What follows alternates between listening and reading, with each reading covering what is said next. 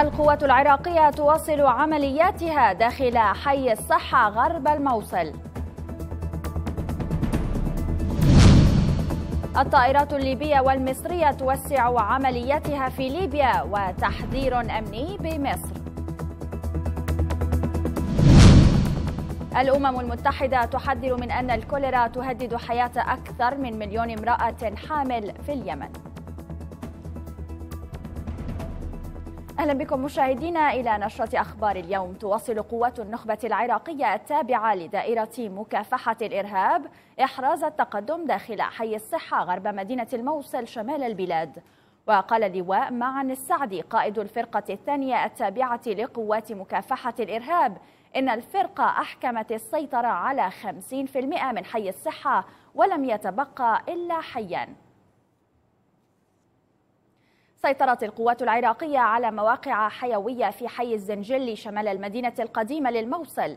وقال مصدر في الشرطة الاتحادية لوسائل إعلامية إن القوات توغلت بعمق 300 متر داخل الحي ونشرت أسلحتها المضادة للعجلات المدرعة والمفخخة.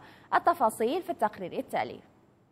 عملية توغل جديدة للقوات العراقية في معركتها بالموصل أدت إلى العثور على مضافات ومركز عالمي لتنظيم داعش. الشرطة الاتحادية أشارت إلى أن المدفعية الميدانية تواصل قصف دفاعات التنظيم المتطرف شمال المدينة القديمة مسيطرة بذلك على مواقع جديدة بحي الزنجيلي وعدد من الأحياء غرب المدينة. فيما أفاد قائد العمليات الخاصة الثانية في قوة مكافحة الإرهاب بأن قواته استعادت 50% من حي الصحة موضحا أنه لا يمكن تحديد سقف زمني لانتهاء المعركة لأن المتغيرات كثيرة على الأرض.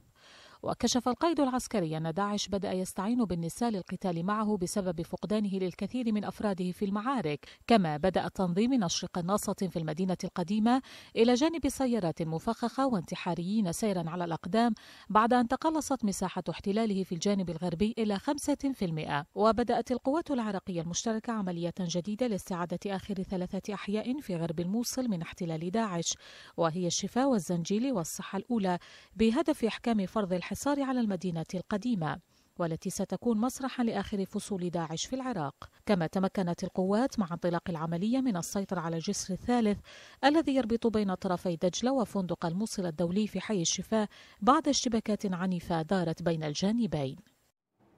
قال وزير الدفاع الأمريكي جيمس ماتيس إنه لا مفر من سقوط قتلى مدنيين في الحرب على داعش موضحا أن بلاده تبذل كل ما في وسعها لتفادي ذلك من الناحية الإنسانية مع الأخذ في الاعتبار الضرورات العسكرية. وأشار ماتس إلى أن واشنطن لم تغير قواعد شن الغارات الجوية التي تحدد الإجراءات الاحترازية لتفادي قتل مدنيين.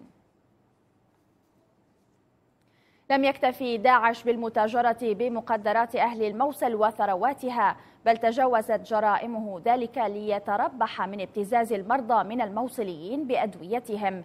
إذ كانت إحدى وسائل تمويل عملياته الإرهابية إحداث أزمة في الأدوية من خلال تخزينها بمقراته ثم إعادة بيعها بأثمان باهظة. الأمر الذي أدى إلى وفاة العديد من كبار السن والمصابين بالأمراض المزمنة. وسام يوسف اطلع على مكان كان يخفي فيه داعش الأدوية عن الناس وأعد هذا التقرير. أكداس من الأدوية المختلفة عثرنا عليها هنا في هذا المنزل الذي دخلناه برفقة فرقة الرد السريع العراقية. أكداس من مختلف المواد الطبية موجودة هنا في هذا المكان في حين أن أهالي الموصل كانوا يعانون شح الخدمات الصحية. هذا مفخر متكامل. جميع الأدوية جميع المستلزمات الطبية يقوم بإسعاف قتلاهم وعوائل قتلاهم بهذا المكان حسب شنو؟ حسب الوثيقة اللي عثرت عليها قوات فرقه الرد السريع بهذا المكان، هذه الوثيقة تقول ديوان الجن طبابة عسكرية. نرجو منكم تجهيز مضافات زوجات الشهداء الخاصة بفرقة أبي معتز القرشي بالأدوية التالية نظرا للحاجة الماسة اليه. حسب الوثائق التي عثرنا عليها هنا فإن هذا المكان كان مستشفى ومدخر خاص بمسلحي داعش وعوائلهم فقط حيث لم يكن مسموحا للمدنيين والأهالي مراجعة أو التداوي في هذا المكان الذي يحوي أيضا على جزء آخر من المستشفى ولكن تحت الأرض وتنبعث منه رائحة كريهة.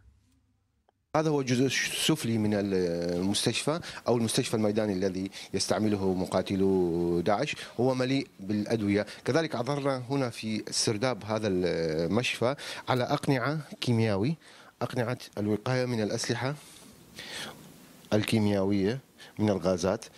كثير من الأقنعة موجودة هنا في هذا المكان. آه، لأن تنظيم داعش كان يستعمل الغازات السامة كما عثرنا عليها وعثرت عليها القوات الأمنية في القرب من هذا المكان. وفي هذا الحي تحديدا كان تنظيم داعش يستعمل الغازات السامة ولهذا كان مقاتلوه يرتدون هذه الأقنعة للوقاية من الغازات التي آه، يستعملها مقاتلو داعش هنا ضد القوات العراقية وضد الأهالي. أما الوثائق الأخرى التي عثرنا عليها فتبين أن داعش كان يتاجر بالأدوية على حساب المدنيين والأهالي وعلى حساب معاناتهم كما أن داعش كدس في باحة هذا المستشفى مئات أجهزة التبريد التي سرقها من منازل المواطنين والدوائر الحكومية. كانوا يحاربون المواطنين يعني يدرون هم على باطل. والمواطن على حق. فقاموا يحاربوهم من جميع النواحي من جميع المستلزمات الطبية آه، التجهيزات المرضية للأطفال. قاموا يسحبوها من الصيدليات أو يجيبوها من الخارج ويخزنوها بهذا المكان وتوزيعها على المضافات. مثل ما شفت هسه مضافات تنظيم داعش الإرهابي الجبان على جميع الموصل أمكنتهم بالموصل. آلاف الدولارات كان يجنيها داعش من بيع هذه الأدوية على الأهالي وبأسعار باهظة. هذا المكان خير شاهد على الجرائم التي ارتكبها التنظيم بحق أهالي الموصل بعد ثلاث سنوات من احتلاله المدينة. ألقى التحالف الدولي منشورات تحذيرية تنذر قوات الأسد والميليشيات الموالية لها من مغبة الاقتراب من مواقع داخل البادية السورية. وقال مصدر في الجيش الحر لأخبار الآن إن قوات التحالف تنفذ مناورات عسكرية في البادية السورية بهدف مهاجمة داعش في البوكمال ودير الزور. في أقصى الحدود الشمالية الشرقية للمملكة الأردنية يقع مخيم الركبان للنازحين السوريين بعمق سبعة كيلومترات داخل الأراضي السورية. يعد هذا المخيم من أكبر مخيمات النازحين في الأراضي السورية وأكثرها فقرا على الإطلاق. حيث تنعدم مقومات الحياة نظرا لصعوبة وصول المنظمات الإنسانية للقاطنين فيه. مراسلنا عبد الحي الأحمد رصد لنا في التقرير التالي حجم المأساة التي يعاني منها مئة ألف سوري هناك. الدواء كنا نأخذ 75 ليرة أخذته ب 1200 ليرة. يشكو إلي قهر معيشته هنا تارة يخرج علب دوائه الفارغة لإصابته بمرض في القلب. وتارة أخرى يحدثني عن إقامته المؤقتة في هذا البيت المصنوع من الطين. يدعى علي العبيد وهو من سكان ريف حلب الشرقي. نزح بعائلته إلى مخيم الركبان وسط الصحراء السورية هربا من الموت قصفا. لم يكن يجول في خاطره حينها أن للموت أشكالا أخرى تنتظره في هذا المكان. عندي خمس أولاد ما عندي خبز اليوم. دينا دينا خبز اليوم. ناخذ ما معنا خبز اعطونا ناكل بس للأولاد قالوا إنت خيو اعطيك بما الله يفرج عليك تعطينا. يعني وضعنا الطاولة مستوي الطاولة وضع مستوي هون. الغبرة قتلتني العجاج قتلني صدي ما بحسب ابرك دواء عندي ست سبع أنواع مع من ولا نوع اشربه علي لا يعاني لوحده فعلى بعد أمتار منه. في هذه الخيمة المهترئة تحديدا يعيش جاره عبد الله العاجز كذلك عن إيجاد طريق للعلاج من أمراض تكاد تفتك بجسده النحيل. مع التهابات ومع السكري. وغدا واقفة معي. خالص. وأحيانا مدوخ خالص. بالبيت هون. مئة ألف سوري هم سكان مخيم الركبان. أكثر من نصفهم أطفال جلهم لا يستطيعون القراءة أو الكتابة حتى الآن. فإلى جانب الأمراض المتفشية هنا. ثمة كارثة أخرى تتمثل في جيل يخيم شبح الجهل على مستقبله. طبعا إحنا مستعدين يوم اللي بتتوفر الفرص والإمكانيات لإنشاء مدارس مستعدين ندرس لأنه هذول أولادنا بالنهاية. هذا جيل بكامله عم يضيع. إحنا ما بنتمنى إنه يضيع جيل بكامله آه، بفترة نزوح. لا تقتصر معاناة نازحي الركبان على تأمين الرعاية الصحية والتعليم فقط. فتأمين مياه الشرب لوحده. يحكي قصة الموت البطيء هنا. على الرغم من دخول المخيم عامه الثالث وازدياد أعداد وافديه بشكل يومي إلا أنه حتى اليوم يفتقر إلى وجود آبار للمياه العذبة ما دفع بالمملكة الأردنية إلى ضخ المياه من أراضيها ليتم نقلها إما مشيا على الأقدام أو بعربات صغيرة عدة كيلومترات على امتداد الخيم في الداخل السوري. أنا المرأة مشتغل على التمر عندي أولاد صغار قاعد أخدم لهم تتحسن علينا الناس والله. عايشين من جلة الموت ما عايشين يعني طيب ومعزة. تتعاظم المأساة التي تحل بأهالي المخيم مع كل إشراقة شمس دون ما حل يلوح في الأفق. وخاصة مع إقبال بادية الشام على فصل جديد من المعارك ينذر بتضاعف أعداد النازحين هنا. عبد الحي الأحمد أخبار الآن. من مخيم الركبان على الحدود السورية الأردنية. فاصل قصير ونواصل نشرتنا ابقوا معنا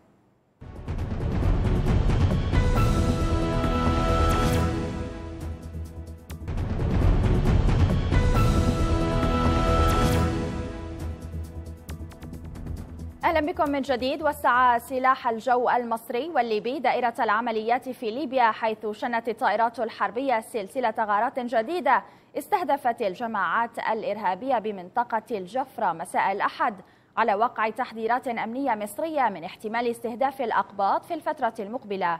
وكانت الطائرات الليبية والمصرية قد شنت سلسلة غارات على مواقع ومعسكرات المتشددين في مدينة درنا. وذلك بعد الهجوم الدامي الذي استهدف حافلة كانت تقل مسيحيين مصريين. وثقنا في أخبار الآن لعمليات هروب مسلحين من داعش من سرت. وهذه المرة أيضا وصلتنا صور تؤكد صحة ما تطرقنا إليه في مواضيعنا السابقة صور لثلاثة عناصر من داعش تم القبض عليهم يرتدون الخمار لمحاولة الإفلات من أعين القوات الأمنية باتجاه درنا. الزميل جمال العريبي والتفاصيل. نحن في أخبار الآن. كنا نوثق دائما لحالات هروب مسلحين من داعش متخفين في ملابس النساء. وكثيرا أيضا هي الحالات التي عرضناها عليكم في تقاريرنا الإخبارية السابقة التي تتحدث عن هروب مقاتلين من داعش تنكروا بأزياء النساء. محاولين التسلل بين المدنيين للإفلات من حواجز القوات الأمنية. وهذه بعض من الشهادات التي كنا قد عرضناها عليكم من قبل من مدينة سرت. في آخر معاقل داعش في الفترة الأخيرة لاحظنا أن عدم مقاومة مفيش مقاومة منهم ويحلقون في لحياهم ويفرون ويرتدون ملابس النساء للخروج. يحاولوا إنهم يخرجوا بملابس النساء. وفي المكانات اللي يتم تحريرها من الدواعش نلقوا في آثار الشعار نتاعهم اللحية يحلقوا فيها مش يعقوا مع المدنيين. ولقيناهم بعض يتخبى بملابس نساء جلابيب وكستار للهروب. هذه المرة تم القبض على ثلاثة مسلحين من داعش في بوابة الذروة يرتدون الخمار كما هو موضح في هذه الصور. وخارجين من جهة أجدابيا باتجاه درنا. وجه آخر إذا لاستغلال داعش للنساء بعد أبشع الانتهاكات ضد المرأة. ها هو اليوم يحتمي في زي النساء في دلالة عميقة على ضعف التنظيم وجبنه بتخفيه في زي النساء أثناء فرارهم. هذا التخفي وراء زي النساء دليل كاف على أن التنظيم لم يعد قادر على المواجهة أو الصمود أكثر في المنطقة الغربية. أكد وزير دولة الإمارات للشؤون الخارجية دكتور أنور قرقاش أن إيران غير مستعدة للجيرة الحقيقية ولا بديل إلا الوقوف متحدين حول السعودية. إذ فند قرقاش في تغريدات على تويتر ما جاء في مقالة نشرها وزير الخارجية الإيراني محمد جواد ظريف في صحيفة نيويورك تايمز حيث سوق وزير الخارجية الإيراني لجملة من المزاعم بعيدة كل البعد عن الواقع.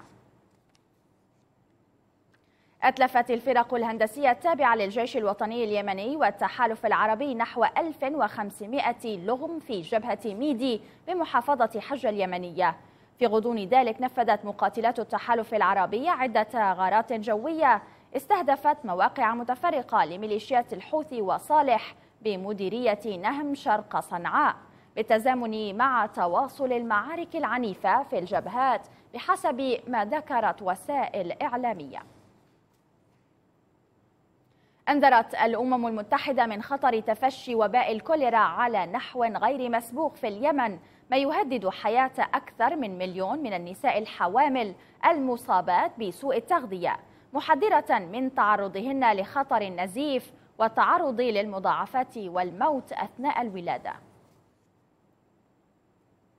أعلن مسؤولون عسكريون في كوريا الجنوبية أن كوريا الشمالية أطلقت صاروخا باليستيا من ساحلها الشرقي. وأضاف المسؤولون أن الصاروخ قطع مسافة 450 كيلومترا تقريبا وأنه سقط في بحر اليابان وهذه هي التجربة التاسعة من نوعها في غضون العام الحالي.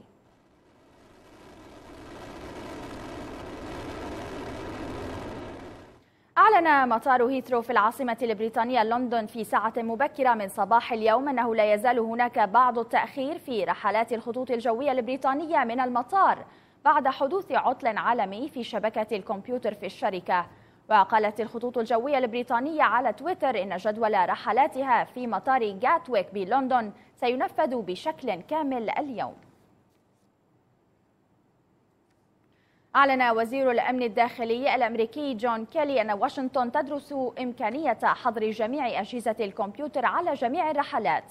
وأوضح كيلي أن استخدام أجهزة الكمبيوتر في تنفيذ هجوم إرهابي بات تهديدا حقيقيا وكانت السلطات الأمريكية منعت في الحادي والعشرين من آذار مارس الماضي الركاب القادمين من عشرة مطارات. والآن إلى جولة الصحافة.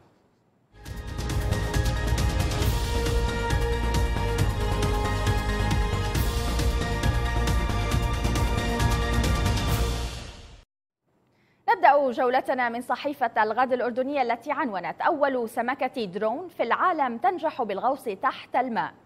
حققت كاميرا درون مصممة على شكل سمكة للغوص تحت الماء نجاحا مذهلا خلال حملة Kickstarter لجمع تمويل بقيمة 20 ألف دولار خلال أقل من 24 ساعة.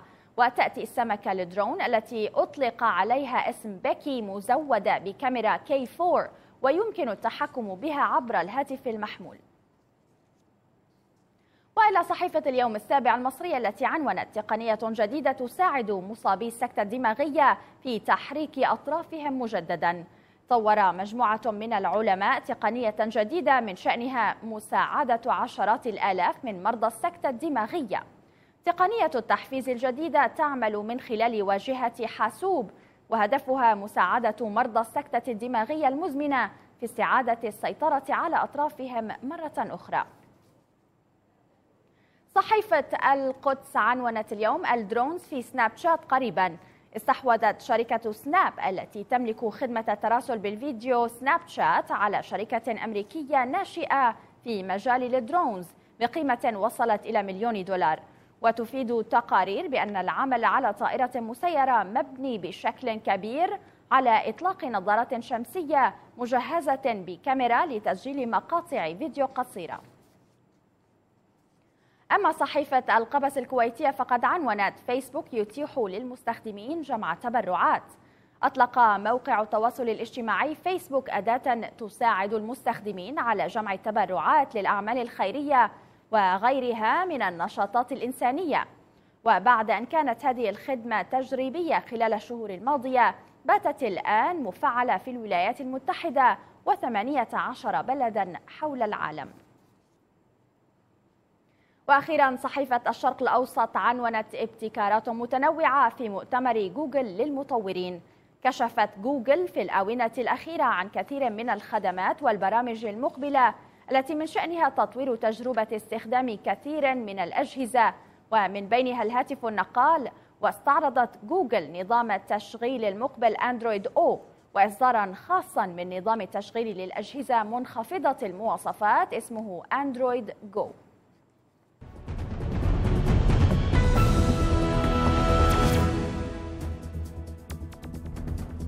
فقراتنا متواصلة وتجدون فيها بعد الفاصل.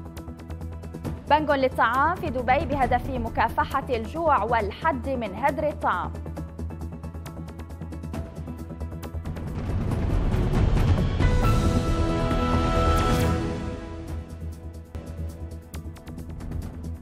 أهلا بكم من جديد. توصل علماء أمريكيون إلى لقاح يمنع ظهور حب الشباب نهائيا. تفاصيل أكثر حول هذا الموضوع مع عبير عبد الله المختصة بالملف الصحي من أخبار الآن. يعد حب الشباب من المشاكل الجلدية المزعجة والتي لا تؤثر فقط على الجلد إنما على الحالة النفسية للمصاب بها. ولعل اللقاح الجديد قد يضع نهاية حتمية لهذه البثور. ويتم العمل حاليا على تطوير لقاح ضد حب الشباب. وتعددت الأبحاث حول سبب ظهور حب الشباب. ويعد التهاب جلدي ناتج عن بكتيريا تصيب بشرة الوجه. ويعمل العلماء من جامعة كاليفورنيا على تطوير لقاح يؤدي إلى مكافحة هذه المشكلة الجلدية التي يعاني منها أكثر من 80% من فئة الشباب من الجنسين. وأوضح الأطباء أن اللقاح الأول هو لقاحا وقائيا هدفه حماية الأشخاص من الإصابة بحب الشباب. دون أن يقوم بمعالجة البثور. أما الاحتمال الثاني فهو علاجي يهدف إلى معالجة البثور والقضاء عليها. وأضافوا أنه مهما أتت النتائج فإن المبادرة ستوصل إلى آلية جديدة وإلى علاج مناعي يلبي احتياجات الذين يعانون من مشكلة حب الشباب. لكن اللقاح ما زال في مرحلة البحث والدراسة. أطلق في الآونة الأخيرة في دبي بنك للطعام للمساعدة في التقليل من هدر الطعام وتقديم الفائض منه لمن يحتاجونه. تفاصيل أوفى حول هذا البنك في تقرير الزميل ماهر أبو لبدة. دشنت دبي في الآونة الأخيرة بنكا للطعام في مسعى للحد من هدر الطعام وتقديم الفائض منه لمن يحتاجونه. إذ أطلق بنك الإمارات للطعام الشهر الماضي بعد أن وقع شراكات مع فنادق محلية ومطاعم وأسواق تجارية على أن تقدم للبنك تبرعات منتظمة من المواد الغذائية المتبقية وغير المرغوب فيها. وبتلقيه تلك التبرعات يوزعها البنك على جمعيات خيرية محلية في دبي وأنحاء الإمارات للمساعدة في توفير الغذاء لمن يحتاجونه. هدف البنك هو استقطاب الأغذية الواردة من جميع المتبرعين. ممكن عبارة عن منشآت غذائية آه، ممكن تكون عبارة عن هايبر ماركت أو سوبر ماركت أو أي منشآت غذائية مصانع أو أي مطاعم. وبعد فحص مشرفين صحيين للمواد الغذائية والطعام الذي يتلقاه البنك من متبرعين يتم تجميده وتخزينه في حاويات ضخمة مبردة أو وضعه في صناديق لتوزيعه على جمعيات خيرية. وأوضح مدير الصحة والسلامة في مركز دبي التجاري العالمي أن المواد الغذائية التي يتلقاها البنك تخضع لأعلى معايير الصحة والسلامة. هذا وتعهد بنك الإمارات للطعام خلال شهر رمضان بتوزيع ما يزيد على 100 براد في محيط المساجد والأماكن العامة ليتسنى للمتبرعين وضع تبرعاتهم من فوائد الطعام فيها ويتسنى للمحتاجين أخذ ذلك الطعام. أمل بالمستقبل وأمل بالحياة وأمل بغد تشرق الشمس فيه من جديد. ولأن الحياة مستمرة فلا بد أن يكون هناك بصيص أمل. عندي أمل حملة أطلقها تلفزيون الآن على مواقع التواصل الاجتماعي لبث الأمل في نفوس كل من عانى من ويلات الحروب والجوع والحرمان. تلك الحملة التي بدأت في أول أيام شهر رمضان المبارك جاءت بمشاركة من الفنانة السورية فدوى سليمان بطلة مسلسل أمل الذي أنتج تلفزيون الآن السنة الماضية جزءه الأول.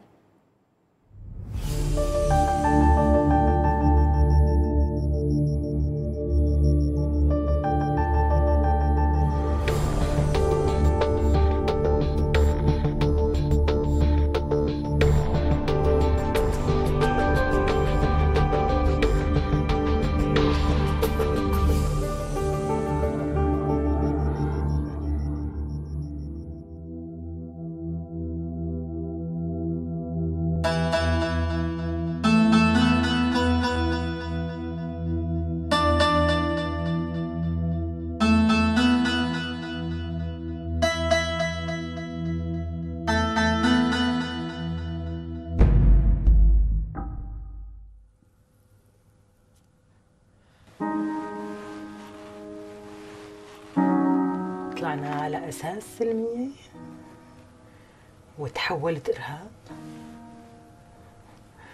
مين اللي حولها لإرهاب؟ مين اللي وجه الرصاص الحي ضد صدور الناس العزل؟ مين اللي قتل الناس بالهاوي والدبابات والطيارات والبراميل؟ ما قتلتوا الأطفال بالكيماوي والنابالم والسلاح المحرم دوليا مو هجرتوا الناس من بيوتها مو سرقتوا أرزاقها لك أنتم ملوثين بالدم من ساسكم لراسكم كرمال هيك؟ عم قلك ما رح يتصلح شي. لا بيتصلح. وفينا نغير الواقع. فينا نوقف هاي الحرب. يلي عرفنا كيف بلشت. بس ما رح نعرف كيف رح تنتهي. ولا لمصلحة مين ولا على حساب مين. لا فينا نغير النهاية. بس هاد ما بيعتمد علي إذا أقريت تحت التعذيب. باللي بدك إياه وسجلت كم كلمة ضدي بمحضر التحقيق. هذا بيعتمد علي وعليك سوا. فينا نغير الواقع وفينا نبدأ صفحة جديدة. وفيني سامحك كمان. بدك تسامحيني مقابل شو؟ انت وأنا سوا؟ إيه. فيني سامحك ونبدأ صفحة جديدة. فيني أقول لك كيف كمان.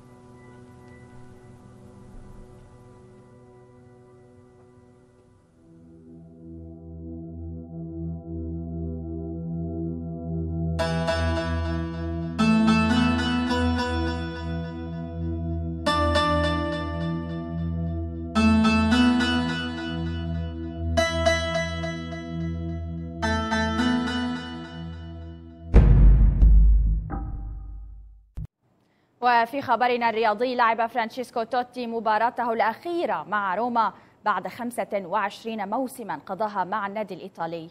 وشارك اللاعب البالغ من العمر 40 سنة في 786 مباراة مع روما خلال مشواره الرياضي.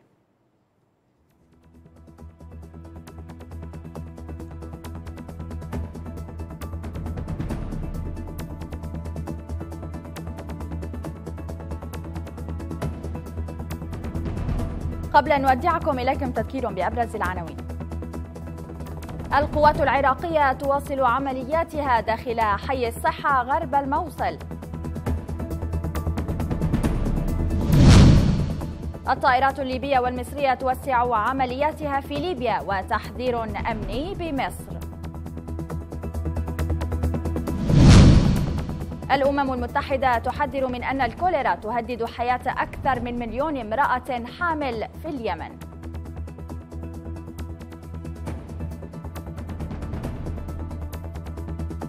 وصلنا إلى الختام. للمزيد يمكنكم دائما مشاهدينا متابعتنا على موقعنا الإلكتروني. كما يمكنكم التواصل معنا عبر مواقع فيسبوك وتويتر. ويمكنكم أيضا مشاهدة بثنا المباشر في الموقع ذاته.